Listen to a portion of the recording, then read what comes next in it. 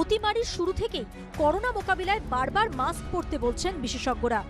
ঝড়ের গতিতে সংক্রমণ বৃদ্ধির জেরে যখন তৃতীয় ঢেউ শুরু হয়ে গেছে, তখনও পথে ঘাটে দেখা যাচ্ছে এমনই অনেক মাস্কহীন মুখ।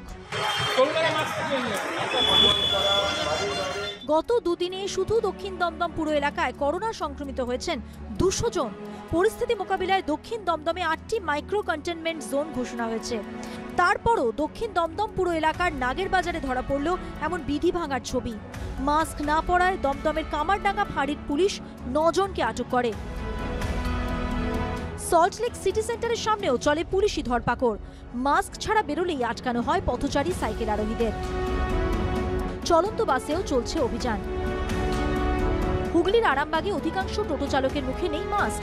একই অবস্থা বাস চালক ও কর্মীদের। এমনকি যাত্রীদের বড় অংশের মুখেও নেই মাস্ক।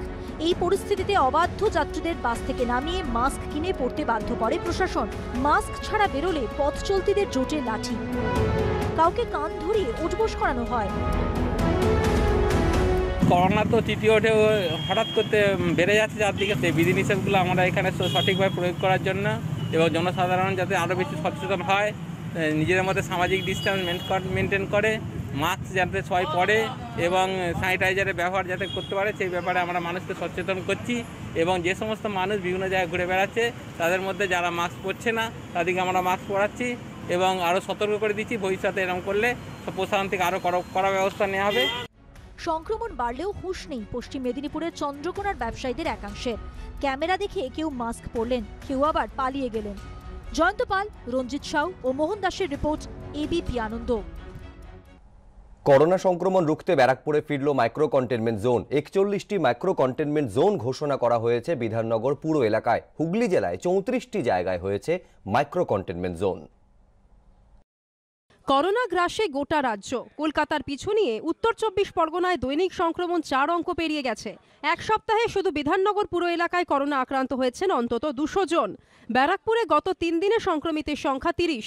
পরিস্থিতি ক্রমশ উদ্বেগজনক হয়ে ওঠায়, ফের উত্তর চব্বিশ পরগনার একাংশে ফিরল মাইক্রো কন্টেনমেন্ট জোন বিধাননগরের একচল্লিশটি ওয়ার্ড মাইক্রো কন্টেনমেন্ট জোন হিসেবে ঘোষণা হয়েছে। অন্যদিকে ব্যারাকপুরের সতেরোটি এলাকাকে মাইক্রো কন্টেনমেন্ট জোন চিহ্নিত করেছে প্রশাসন। বিধাননগরে যে সমস্ত এলাকা মাইক্রো কন্টেনমেন্ট জোন হিসেবে ঘোষণা হয়েছে সেখানে পুলিশের তরফে করা হচ্ছে সচেতনতামূলক প্রচার। যেখানে যেখানে মাইক্রো কন্টেনমেন্ট জোন ঘোষণা করা হয়েছে সেসব জায়গাগুলিতে যদি কোনো দরকার পড়ে পুলিশের সহযোগিতা নেবেন। বিধাননগর পূর্ব থানা আপনাদের পাশে আছে আপনাদের সাথে আছে।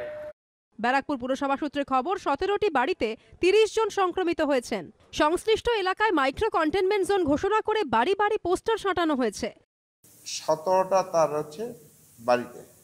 তিরিশটা পজিটিভ সতেরোটা। মানে এক এক বাড়িতে দুজন, তিনজন এরকম আছে। টোটাল সতেরোটা বাড়িতে। এই সতেরোটা আমরা সব মাইক্রো কন্টেনমেন্ট করে দিচ্ছি। আমরা একটা করে পোস্টার লাগিয়ে দিচ্ছি যে ওই বাড়িটা কন্টেনমেন্ট জোন ওখানে বাড়িতে কেউ যাতে না ঢুকে, ওই বাড়িতে কেউ যাতে না হয়। গত তিন দিনে দ্বিগুণের বেশি সংক্রমণ বেড়েছে হুগলি জেলায়। শহরের পাশাপাশি হুগলি জেলার গ্রামীণ এলাকায় হুহু করে বাড়ছে সংক্রমণ। হ্রাস টানতে হুগলি জেলায় চোদ্দটি গ্রাম পঞ্চায়েত এলাকা এবং ছটি পুরসভার কুড়িটি ওয়ার্ড মাইক্রো কন্টেনমেন্ট জোন ঘোষণা করা হয়েছে। অন্যদিকে বাঁকুড়া পুরো এলাকায় লাফিয়ে বাড়ছে সংক্রমণ। এগারো নম্বর ওয়ার্ডে দুটি এলাকাকে মাইক্রো কন্টেনমেন্ট জোন চিহ্নিত করেছে প্রশাসন। সমীরণ পাল, রঞ্জিত সাউ ও সোমনাথ দাসের রিপোর্ট এবিপি আনন্দ। বাড়ছে করোনা রাজপুর পুরো এলাকায় চার দিন বাজার বন্ধের নির্দেশ। ছয়, সাত, দশ এবং এগারোই জানুয়ারি বাজার বন্ধের সিদ্ধান্ত প্রশাসনের। জরুরি পরিষেবা ছাড়া সমস্ত বাজার, দোকান বন্ধের নির্দেশ। মাস্ক ছাড়া বাইরে বেরোলে আইনি পদক্ষেপ হুঁশিয়ারি প্রশাসনের।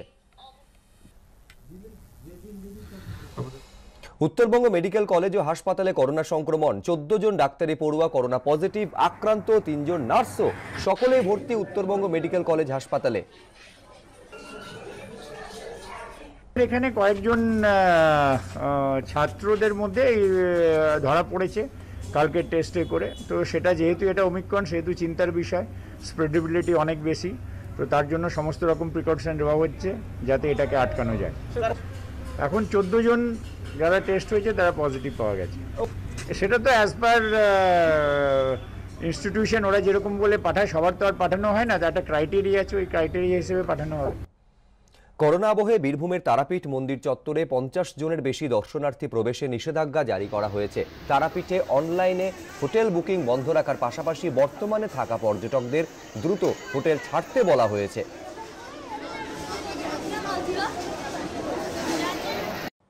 আজকে ওই পঞ্চাশ জন করে ভক্ত নিয়ে মন্দিরে দর্শন করানো যাবে। মন্দির আমাদের খোলা থাকছে। পুরো কোভিড প্রটোকল মেনে স্বাস্থ্য দপ্তরের নির্দেশ অনুযায়ী সরকারি যে নির্দেশ আছে, সেভাবে। হ্যাঁ তাতে আমরা পুরো মাস্ক পরে মন্দিরে যাবে, হাতে স্যানিটাইজার নেবে এবং সেসব দেখার জন্য অতিরিক্ত সিকিউরিটি আমরা আজকে নিয়োগ করেছি। কদিন ধরেই চলছে, নজরদারি চলছে। মন্দির খোলা থাকছে, ভক্তরা মায়ের কাছে যেতে পারবেন, দর্শন করতে পারবেন। এভাবে আমরা মানে অর্থ যে ব্যবস্থা, অর্থনৈতিক যে ব্যাপারটাকে সচল রাখার চেষ্টা করছি।